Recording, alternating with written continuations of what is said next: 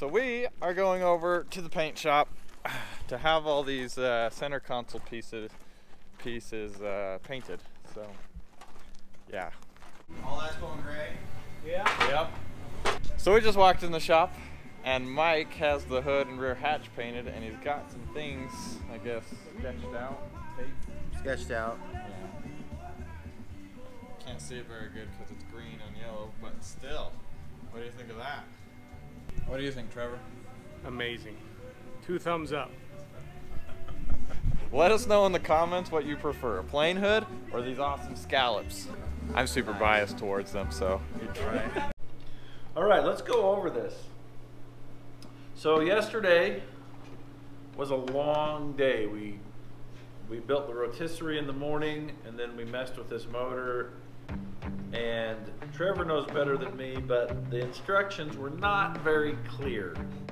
We're gonna try to start it. How much confidence do you have? 33%. Matt.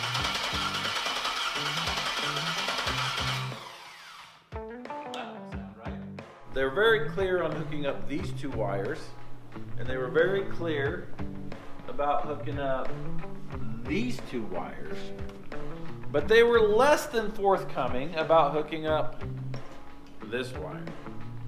So we messed with it and messed with it and messed with it, and the computer, the laptop was saying everything's hooked up, everything's fine. Apparently, if you leave this wire unhooked, there's no sensor that tells you it's unhooked. It was frustrating.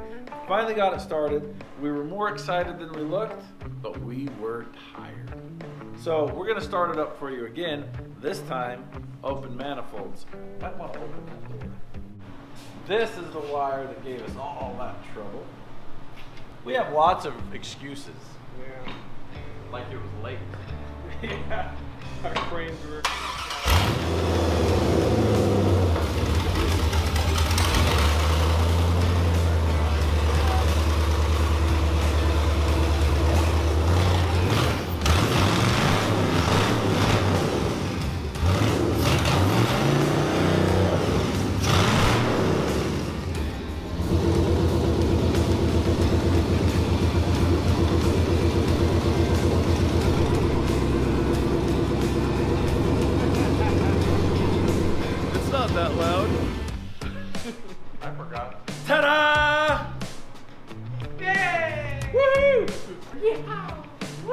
Yippee!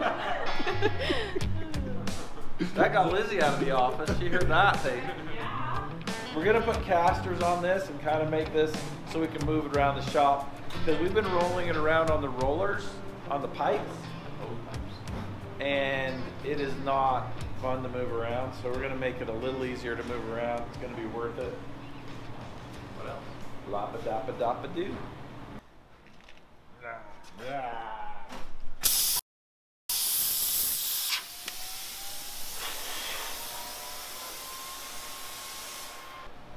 Cup?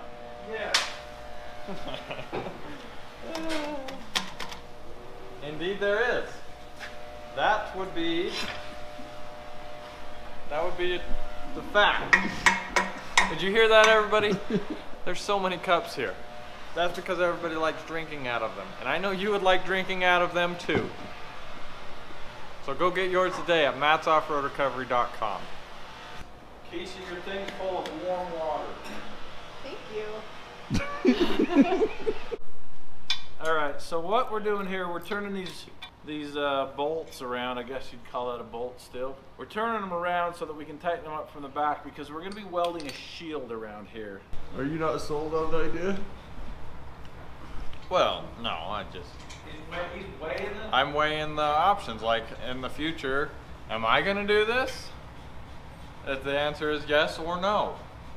Yes or no.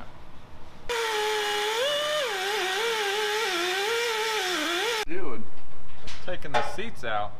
The first step in removing the seats, if you find yourself in the car buckled up, is to unbuckle the seatbelt.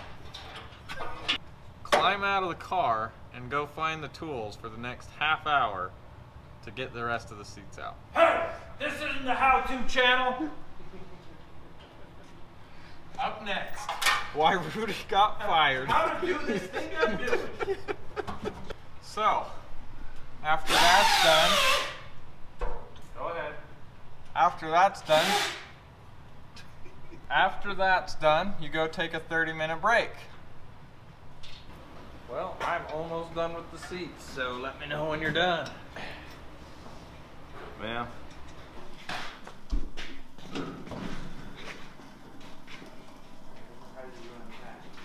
All right. So we've got this uh, Dana 70 axle here, and we are pulling the hubs off it, pull the axles out of it. Ultimately, we're going to be putting gears and a locker in it.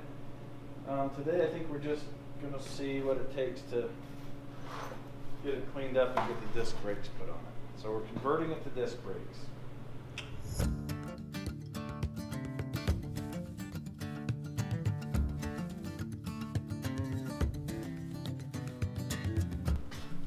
The whole kit's there?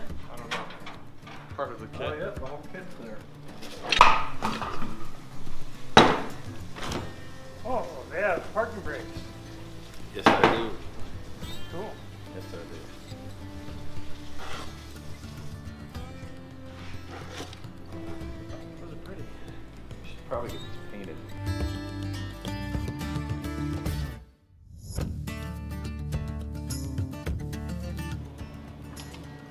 Okay, so the question is, does that look basically centered like the? It looks dead on. It, I mean, the brakes look like they're lined up beautifully.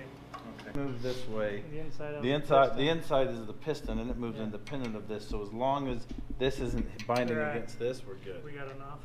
Yeah, then it can wear out. We need our scale so we can see how much weight we just saved. Not as much as it looks like. Because this and this and this replace the backing plate But it's All the so much guts. simpler. and the drums. It's worth How it. much is the undercoating gonna weigh? Quite a bit. Quite a bit.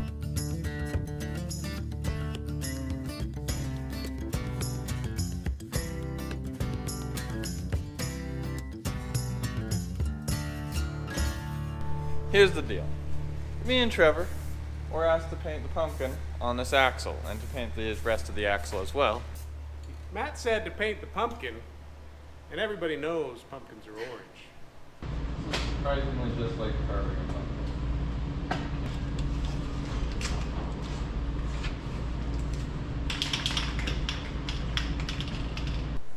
Matt told him to paint a pumpkin.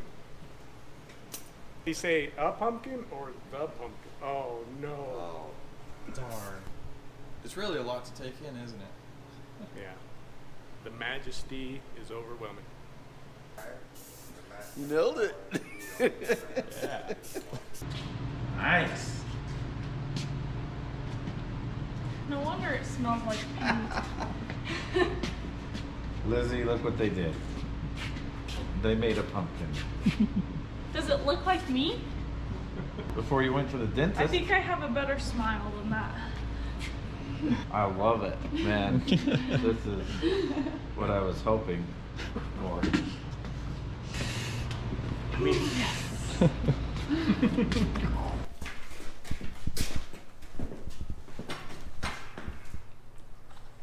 So let's turn it this way so we can.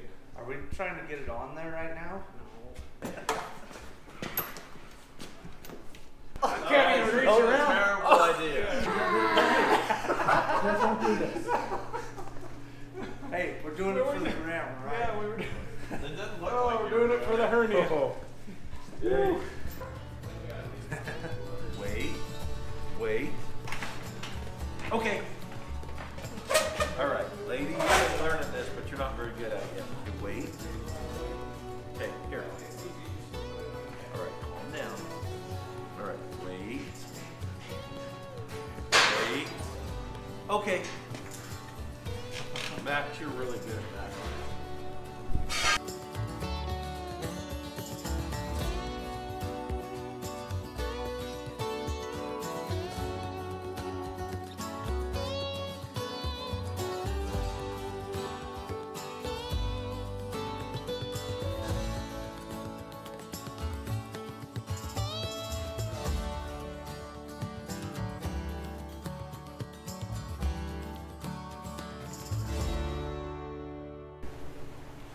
Okay, so the first step we're doing, these are gonna be oriented to the rear, I think. Doesn't really matter. So these are the original bolts that held the backing plate on, the brake backing plate. We cut these notches and ground this down, and then we've got these bolts flipped around backwards. And this holds the new disc brake adapters on. The shield that I'm putting on here is gonna capture these studs. So these studs become pretty, pretty permanent in a minute. Okay, so the next step in this process is to get the shield that I made. This is just some exhaust pipe. And you put it on here and you eyeball it and then mark where they are. So I'm gonna be notching these so that it sits flush against that. And you turn this on. Cut and begin. Now that we're done with that, oh, that's good enough. We can weld that. Okay, so this is what the finished product is gonna look like. So we'll use this to like really center it, make sure that's spaced all the way around. Tack that on and then weld it up. And once again, let me let me show you the benefits of this.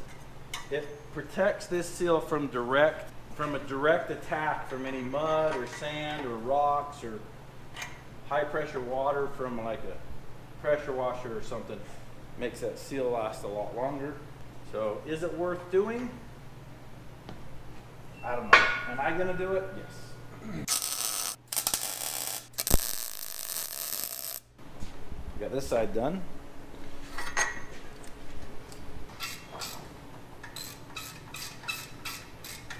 Eyes right here.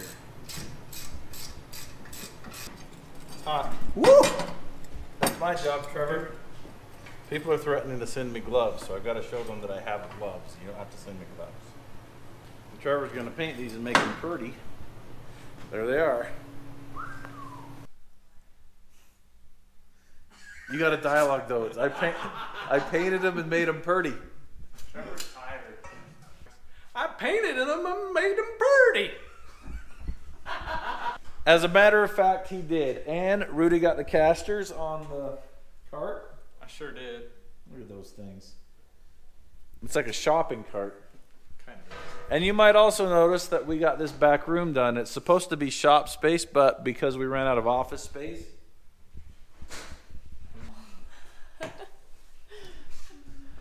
so anyway, from all of us at Matt's Off-Road Recovery, Thank you and goodbye. Oh, maybe I don't know. Thanks for watching.